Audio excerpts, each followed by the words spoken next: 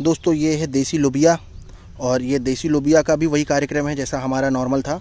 But ये एक बहुत ज़बरदस्त चीज़ है जैसे इसमें जो फूल होते हैं ये फूल ही ये लोबिया बनाते हैं फाइनली हाँ, ये हाँ। पहले फूल निकलता है उसके बाद फल निकलता हाँ। पहले फूल निकलता है उसके बाद फल निकलता है। अब ये फूल जो है जब ये मुरझा जाता है तो ये अपने आप गिर जाता है।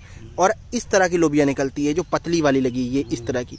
और फिर धीरे धीरे यही इस तरह की हो जाती है इस तरह की मोटी हो जाती है।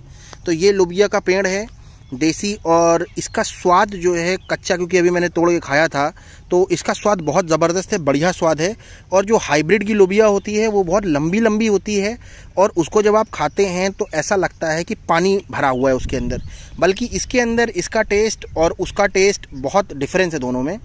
ये लोबिया जो है, इसकी लेंथ जो है, वो बहुत लंबी नहीं होगी, इसकी लंबाई इतनी रहेगी ना इससे थोड़ी बहुत और बढ़ेगी थोड़ी बहुत बढ़ जाएगी।